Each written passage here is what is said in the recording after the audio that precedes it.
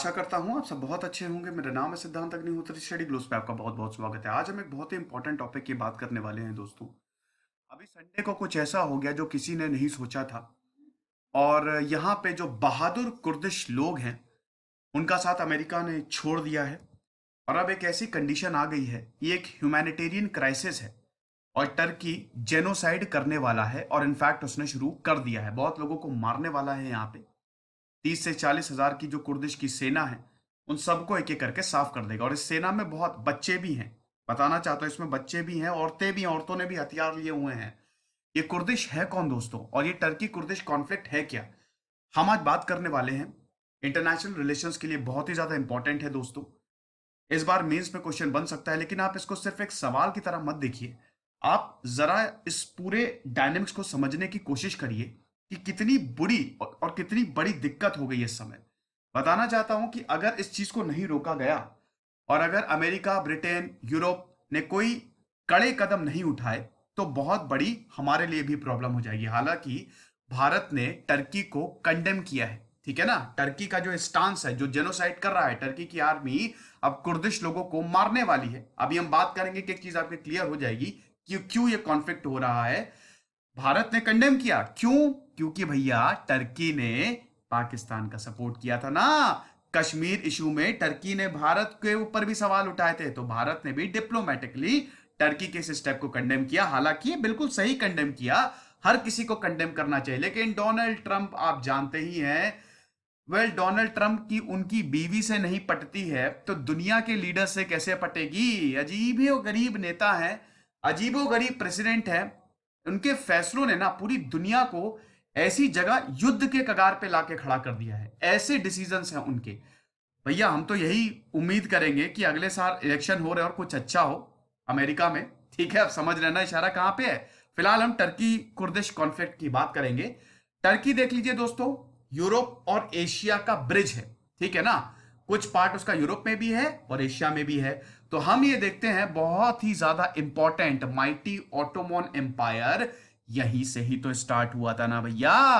याद है कि नहीं? मैंने आपको बताया है। मेरा लेक्चर देख लीजिएगा राइज ऑफ़ इस्लाम तो यहाँ पे हम देखते हैं कि ये है वर्ल्ड मैप में टर्की और इससे लगा हुआ है सीरिया, फिर ये अरब पेनिनसुला है, ये अफ्रीका है, ये पूरा एशिया है, और ये हमारा भारत है।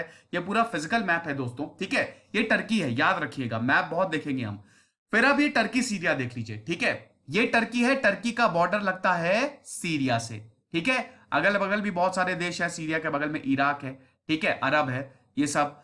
फिर ये बहुत ही ज़बरदस्त मैप है जो आपको, आपकी जो डाउट्स है उसको क्लियर कर देगा। ये देख लीजिए दोस्तों। टर्की आपने देख लिया, ठीक? अब ये सीरिया के पास आ जाइए। फिर से, ये टर्की, ये सीरिया अगल बगल देशों को देखिए। सीरिया में क्या चल रहा है इस वक्त? थोड़ा सा फ्लैशबैक में चलते हैं। बात है दोस्तों 2010 की। 18 दिसंबर 2010 क्या हुआ था? अरब स्प्रिंग की शुरुआत हो गई थी। क्या हुआ था? मोहम्मद बुआजीजी नाम का एक सब्ज़ी वाला था। पुलिस उससे रिश्वत मांगती थी तुनिशिया में। अपने ऊपर उसने तेल छिड़क के आग लगा ली, मर गया वो।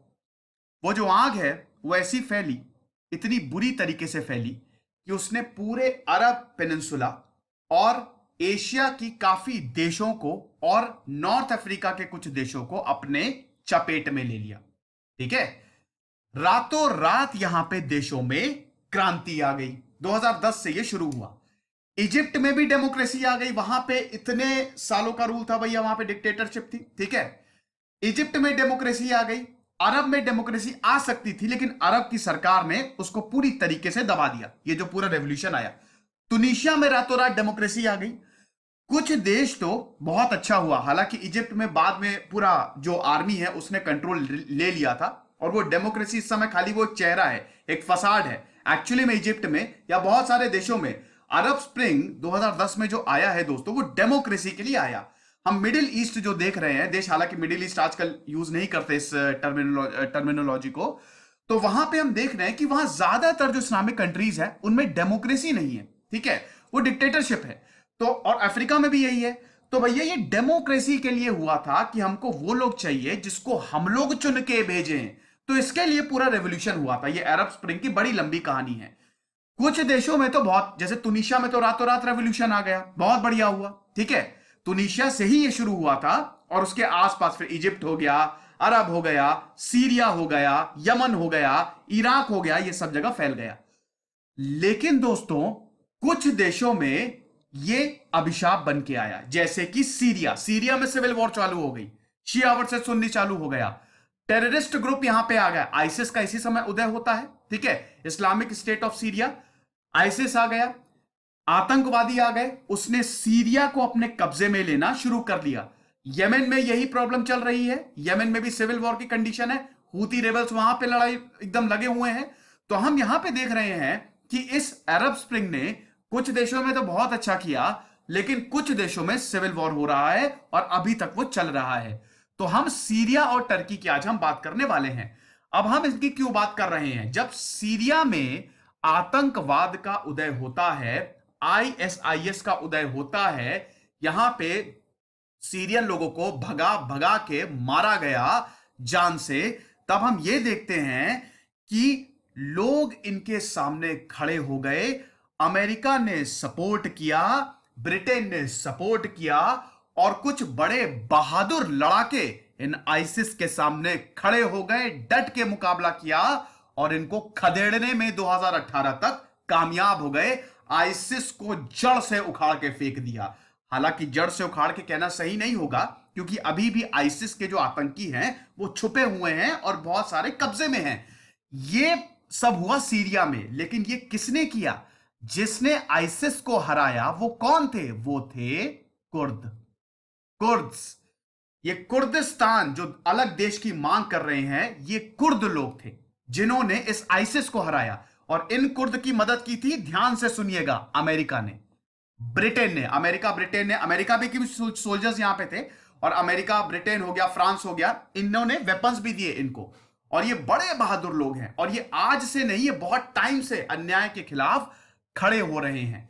लेकिन यहीं पे दिक्कत शुरू हो जाती है। देखिए दोस्तों, ऐसा है ना कि अगर आप पूरी दुनिया को देखें तो दो चीज़ों की वजह से युद्ध होता है। पहली क्या है? ज़मीन का विवाद। ज़मीन की विवाद की वजह से हज़ारों सालों से झगड़े चलते चले आ रहे हैं, ठीक है? दूसरा मेजॉरिटी वर्सेस माइनॉरिटी एक जो ग्रुप मेजोरिटी में है और एक जो ग्रुप माइनॉरिटी में है। इन दोनों की वजह से युद्ध होता है। तो ये दो मूल कारण हैं। यहाँ पे भी सीरिया में या जो टर्की कुर्दिश कॉन्फ्लिक्ट है, ये भी जो युद्ध है, ये ज़मीन विवाद के लिए भी है और सबसे बड़ी बात माइनॉरिटी वर्सेस मेजॉरिटी। हम यहाँ पे देख रहे हैं कि ये जो कुर्द है, ये माइनॉरिटी है, ठीक है? इनकी एथनिसिटी है अलग अलग देशों में फैले हुए हैं। फ़िलहाल आप ये मैप देख लीजिए, ये सीरियन, ये जो आपको स्काई ब्लू में दिख रहा है, ये पूरी सीरियन गवर्नमेंट है, ठीक है? यहाँ पे, अब देख सकते हैं आप, पूरी सीरिया में ही सीरियन गवर्नमेंट का कंट्रोल हो गया है। थैंक्स टू कुर्द्स फिर ये इराकी गवर्नमेंट आप देख रहे हैं डार्क ग्रीन में, ठीक है? उसके बाद ये देखिए आप कुर्दिश फोर्सेस ये लगातार इन आइसिस के खिलाफ लड़ती जा रही हैं। और ये जिहादिस फोर्स ये जो जिहादिस आई एम रियली सॉरी ये जो जिहादिस फोर्स है और जो सीरियन रिबल्स है मतलब वही आइसिस ये देखिए कहाँ, कितने कम जगह सिकुड़ के रह गए हैं, ठीक है ना? और ये पूरा कुर्दिश, ये जो एरिया आप देख रहे हैं ना, ये पूरा कुर्दिश इनहेबिटेड एरिया है, ठीक है? ये चीज़ आप समझ गए? ये कहानी थी सीरिया की, कि सीरिया में आइसिस का उदय होता है और कुर्द लोगों ने और सीरिया की आर्मी ने और अमेरिका ने और यूरोप ने मिलकर लड़ाई की आइसिस से और इन आतंकियों का खात्मा किया। अब टर्की आने वाला है बीच में। अब हम चलते हैं दोस्तों, और पीछे। अभी तक हम 2010 में गए, अब हमको 1919 में जाना होगा। और लंबा फ्लैशबैक वर्ल्ड वॉर वन ये देख लीजिए दोस्तों, ये है कुर्द इनहेबिटेड एरिया बहुत सालों से ये जो कुर्द लोग हैं, जो कि माइनॉरिटी में है, ये अलग देश की मांग कर रहे हैं। ये कुर्द हैं कौन? ये कुर्द वो लोग हैं जो बंजारे थे, जो नोमैट्स थे। 1919 से पहले नोमैट्स थे, हालाँकि ये पूरा मिडिल ईस्ट ही नोमैट्स था नोमैट्स था। ये जो पूरा ट्रेड होता था, ये जो नोमैट्स होते थे, इनकी मदद करते थे, ठीक है? अरे भैया, इन्हीं बंजारों ने, इन्हीं नोमैट्स ने तो पूरा का पूरा एम्पायर बना दिया था ना? आप देख लीजिए, जो मंगोलियन एम्पायर है, चंगेज खान कौन था? वो नोमैडी तो था ना? तो नोमैडिक एम्पायर यहाँ पे बने हुए हैं। खैर, वो एक अलग टॉपिक है। तो हम यहाँ पे देख रहे हैं कि कुर्दिश इनहेबिटेड एरिया ये जो पूरा का पूरा एरिया है, ये कुर्द लोगों का है, ठीक है? और यहाँ पे कुर्द फैले हुए हैं। लेकिन ये माइनॉरिटी में है। वर्ल्ड वॉर वन में क्या हुआ? जब 1919 में वर्ल्ड वॉर वन खत्म होता है तो बहुत सारी ट्रीटीज साइन की गई। उसमें से एक थी ट्रीटी ऑफ़ सेवरिस ठीक है? ट्रीटी ऑफ़ सेवरिस अब इस ट्रीटी के अंदर यह था कि ये जो कुर्द लोग थे, ठीक है? ये कुर्द लोग एक अलग देश की मांग कर रहे थे कि हमको एक अलग देश चाहिए, हम ऐसे नहीं जी सकते। तो यहाँ पे इनके लिए अलग देश और ऑटोनॉमी की बात इसमें कही गई, लेकिन जैसे ही ऑटोमन एम्पायर का डेजोल्यूशन हुआ जैसे ही टर्की बना 1921 में और केमल पाशा अतातुर्क आए तो यहाँ पे हम देखते हैं कि कुर्दिश को अपना देश तो मिला नहीं, बल्कि कुर्दिश कुर्द को क्या किया गया? इनको फैला दिया गया, इनको भगा दिया गया। तो ये जो कुर्द लोग थे, पहले एक साथ थे, अब क्या हुआ? ये अलग अलग देशों में रहने लगे, ठीक है ना? ये जो कुर्द लोग थे, कुछ लोग इराक में चले गए, कुछ लोग सीरिया में चले गए कुछ टर्की में, टर्की की पॉपुलेशन सात से आठ करोड़ है। आठ करोड़ बेसिकली है। 2017 की बात करें तो ये लगभग लगभग आठ करोड़ के करीब थी। तो ये चीज़ आप समझ गए। तो आठ करोड़ की पॉपुलेशन में बीस परसेंट, टर्की में जो आठ करोड़ की पॉपुलेशन उसमें बीस परसेंट, दस से बीस परसेंट कुर्द है। तो ये माइनॉरिटी में है। अब टर्की 1919 से ये नहीं चाहता कि कुर्द को अलग अपना देश मिले या उनको ऑटोनॉमी मिले। लेकिन 1970 में इराक ऐसा पहला देश बना जिन्होंने कुर्द को अपना एरिया दे दिया। तो इराक में आपको कुर्द लोगों का एक अपना एरिया मिलेगा। उनके पास ऑटोनॉमी है और ये 1970 में हुआ था। फाइनली हम देखते हैं कि कुर्दिस्तान छोटा सा कुर्दिस्तान इराक में बना दिया गया था। ठीक है? हालाँकि ये पूरे एरिया का मांग कर रहे हैं। कुछ टर्की का, कुछ सीरिया का, कुछ इराक का, ठीक है? कुछ अर्मेनिया ये देख सकते हैं ना? ये सब जगह, कुछ ईरान का, ये हर जगह कुर्द फैले हुए हैं, लेकिन माइनॉरिटी में है। तो जब 1970 आता है, इराक में इनको एक पार्ट ऑफ़ एरिया दिया गया तो उसके बाद इनकी मांग जो है कुर्दिस्तान की, वो और ज़्यादा तेज हो गई।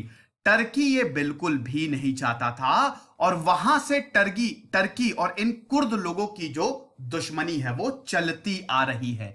ये 1974 में हम देखते हैं कि टर्की वर्सेस कुर्द इनके कॉन्फ्लिक्ट की अर्ली 1970s में शुरुआत हो जाती है और अभी तक इन दोनों के बीच में जो कॉन्फ्लिक्ट है वो सुलझी नहीं है।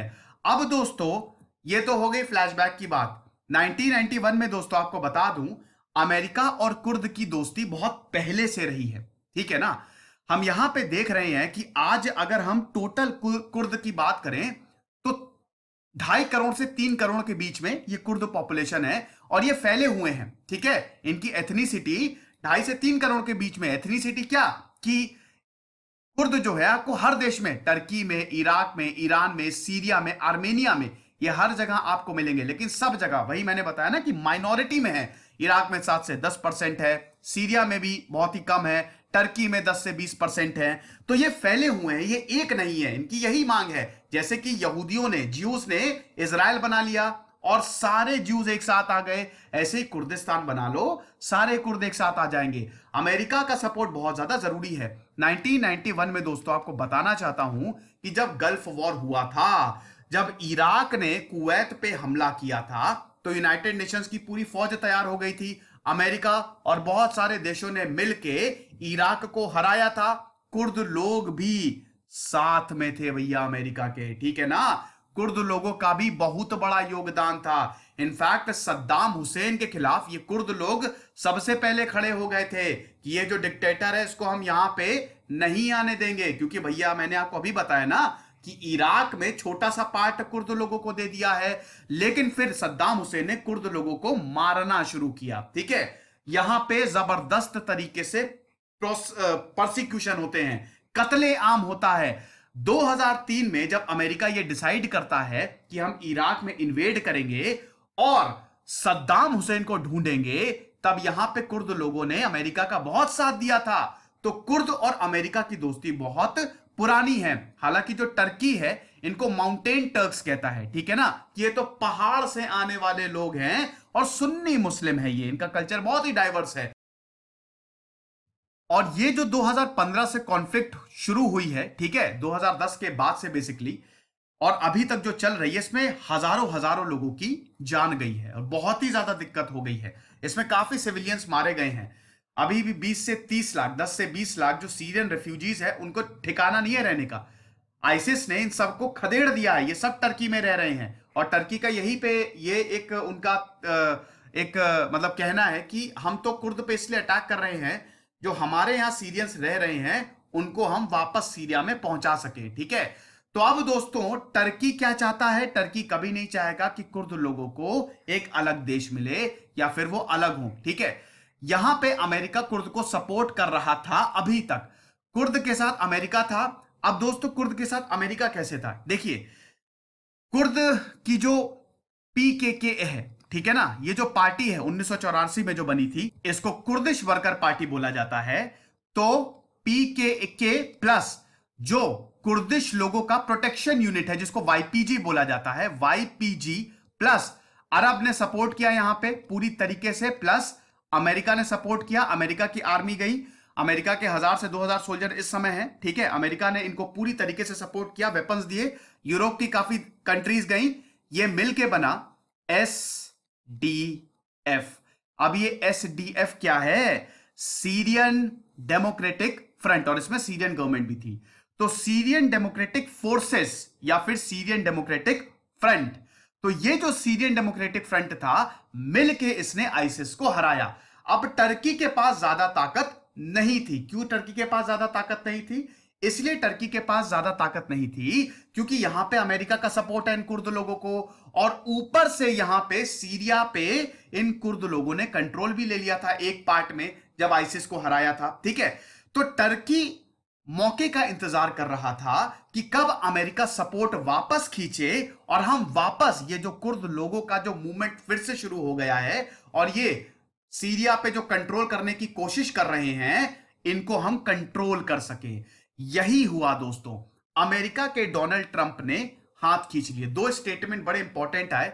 एक तो उन्होंने बोला कि मिडिल ईस्ट में जाना अमेरिका की सबसे बड़ी गलती थी। हालाँकि ये सच भी है उनकी बात, लेकिन इस बार तो उन्होंने बिल्कुल सही किया है। डोनाल्ड ट्रंप जो सही होता है, उसको गलत कर देते हैं, और जो गलत होता है, उसको तो और गलत कर देते हैं। तो यहाँ पे उनको इस समय सीरिया में अपनी फौजों को रखना चाहिए था। लेकिन अब डोनाल्ड ट्रंप क्योंकि अगले साल इलेक्शन है, और अमेरिका का जो जो पॉपुलेशन है वहाँ की जो लोग हैं अमेरिका के वो वॉर के बिल्कुल खिलाफ है कि हमारे लोगों क्यों दूसरे देश में जाके वॉर लड़ रहे हैं? तो डोनाल्ड ट्रंप ने क्या बोलना शुरू कर दिया है कि ऐसा है, जो सीरिया में हमारी सेना थी, अमेरिका की सेना थी, अब हम उसको बाहर निकाल रहे हैं और निकाल भी लिया है भैया। तो जैसे ही ये टर्की को पता चला, टर्की बड़ा खुश हो गया कि हम जो चाह रहे थे वो हमको मिल गया, तुम्हारी खैर नहीं। और यहाँ पे जो एसडीएफ है, उसको अकेला छोड़ दिया है। कुर्द लोगों को अकेला छोड़ दिया है, उनकी आर्मी को अकेला छोड़ दिया है। टर्की की फोर्सेस बहुत ज़्यादा बड़ी है। यहाँ पे कुर्द आर्मी का कहना है, एसडीएफ का कहना है कि हम दो साइड से वॉर नहीं लड़ सकते। दो साइड से कैसे वॉर हो रही है दोस्तों? एक तो टर्की की आर्मी अब हमला करना उसने, अभी मंडे से ही उसने हमला करना शुरू कर दिया है। बमबारी शुरू हो गई है और यहाँ पे काफ़ी लोगों की जान जा रही है। ISIS, Islamic State Islamic State के आतंकियों को पूरी तरीके से खत्म नहीं किया गया है। बहुत सारे आतंकवादी एसडीएफ के पास है, जेलों में बंद है और बहुत सारे आतंकवादी छुप गए हैं। समझ रहे हैं ना? अगर यहाँ पे कुर्द हारते हैं, एसडीएफ हारती है क्योंकि यहाँ पे दो वॉर है। एक तो टर्की से लड़ेगी एसडीएफ और दूसरा ये आतंकवादियों से लड़ेगी। इसमें सबसे ज़्यादा फ़ायदा किसको हो रहा है? आतंकवादियों को, आइसिस को। भैया, आइसिस यही चाहती है, अमेरिका चला गया, कुर्द अकेले पड़ गए, इधर टर्की अटैक कर रहा है। तो हमारी तो बल्ले बल्ले ना, हम तो इनको भगा भगा के मारेंगे। और जो आइसिस डूब गया था, वो दोबारा उदय होगा अब। अगर अमेरिका और यूरोप ने बहुत तगड़े से एसडीएफ को सपोर्ट नहीं किया तो बहुत बड़ी प्रॉब्लम हो सकती है। ये एक ह्यूमैनिटेरियन क्राइसिस है और टर्की ने तो अभी, इसी हफ़्ते मतलब बीते दिन से ही अपनी कार्रवाई शुरू कर दी है। अब एसडीएफ को धोखा मिला है यहाँ पे अमेरिका से, सीधा। अमेरिका के दो स्टेटमेंट पहला अच्छा हाँ जो डोनाल्ड ट्रंप ने बोला कि मिडिल ईस्ट में जाना हमारी सबसे बड़ी गलती थी, दूसरा उन्होंने ये बोला कि जब सिचुएशन बहुत खराब होगी, तब हम कार्रवाई करेंगे। क्या बात है। वेट कर रहे हैं, मुझे लग रहा है डोनाल्ड ट्रंप की यहाँ पे लाखों लाखों लोग मरे। तब हम कार्रवाई करेंगे। ये तो इतना ज़्यादा इरेस्पॉन्सिबल स्टैंड है अमेरिका का डोनाल्ड ट्रंप का, कि समझ ही नहीं आता है। फ़र्स्ट बीच में कौन गया है? कुर्द। और अब वहाँ पे उनका कतले आम जो है वो शुरू हो गया है। और अब देखेंगे ये कहाँ जाके रुकेगा। आइसिस रिटर्न बिल्कुल डेफिनेटली इसमें सबसे ज़्यादा फ़ायदा आइसिस को पहुंचेगा। ये जो लड़ाके हैं, ये जो आतंकवादी है, अब इनको एक बूस्ट मिल गया है। इनको क्या है? इधर कुर्द गए, इधर हम अपना सर उठाएँगे। अमेरिका है नहीं, यूरोप है नहीं हम तो आ जाएँगे यहाँ पे। और टर्की भी एक तरीके से इसको सपोर्ट कर रहा है। हालाँकि टर्की का हमेशा से स्टांस एक अलग ही रहा है, ठीक है? तो टर्की भी इसको सपोर्ट कर रहे हैं। एर्दोगन बोल रहे हैं कि यहाँ पे जो हमारे पास सीरिया के लोग हैं, जो आइसिस और इनकी लड़ाई चल रही थी, उस समय जो लोग बॉर्डर क्रॉस करके हमारे पास आए थे, हम उसको वापस रिलोकेट करेंगे। हम कोई कार्रवाई थोड़ी ना कर रहे हैं, थोड़ा विश्वास नहीं करेंगे। टर्की कतलेआम कर रहा है और आपको पता है इसका नाम क्या दिया है? टर्की ने ऑपरेशन पीस रिंग तो ऑपरेशन पीस मतलब अमन चैन लाने के लिए हम ऑपरेशन कर रहे हैं। एक तरफ़ कतलेआम चल रहा है, इधर टर्की अमन की बात कर रहा है। तो ये आप देख लीजिए हिपोक्रेसी एट इट्स पीक तो अब हम देखेंगे आगे क्या होता है। फ़िलहाल यहाँ पे जो एसडीएफ है सीरियन डेमोक्रेटिक फोर्सेस हैं, ये, इनका तो यही कहना है कि हमको तो धोखा मिला है और अमेरिका हमको बीच रास्ते में छोड़ के चला गया। हमने इतनी मेहनत से इन लोगों को हराया, आतंकियों को हराया और उसका सिला हमको ये मिला। और बहुत बुरी हालत हो रही है दोस्तों। अब देखेंगे कि आगे क्या होता है। भारत की बात करें तो भारत ने इसको कंडेम किया है। भारत पर असर इसका बहुत खतरनाक हो सकता है। अगर आतंकवादी उदय आत, अगर आइसिस जो है उसका दोबारा से सर उठता है तो डेफिनेटली दोस्तों ये जो आतंकवादी है ये जो जिहादिस्ट है ये फैलेंगे। ये पूरी दुनिया में फैलेंगे। और आपको याद होगा दोस्तों 2010 के बाद से जब आइसिस का उदय हुआ तो दुनिया भर में अटैक हो रहे थे, दुनिया भर में हमले हो रहे थे। तो इसीलिए आतंकवाद को खत्म करने के लिए अमेरिका, क्योंकि अमेरिका बहुत ताकतवर है, ठीक है? और सोवियत का तो खैर वो तो अमेरिका जो करेगा उसके खिलाफ ही जाएगा। सोवियत कह रहा हूँ, रशिया, ठीक है? मेरा नाम एक्चुअली सोवियत पे ही अटक जाता है। रशिया जो है, वो जो अमेरिका करेगा, उसके खिलाफ जाएगा। तो यहाँ पे रशिया का तो कोई खास सपोर्ट है नहीं, लेकिन अगर अमेरिका ने हाथ खींच लिया तो बहुत बड़ी प्रॉब्लम हो सकती है। देखेंगे दोस्तों आगे क्या होता है, हम तो यही आशा करेंगे कि जल्द से जल्द ये कॉन्फ्लिक्ट जो है, वो सुलझ जाए और कुर्द लोगों को भैया फटाक से समय मदद मिले। और अमेरिका भी अपनी फोर्सेस वहाँ पे ऐसे निकाले नहीं, रखे वहाँ पे। देखते हैं आगे क्या होता है। खुश रहिए पढ़ते रहिए सिद्धांत तक साइनिंग ऑफ़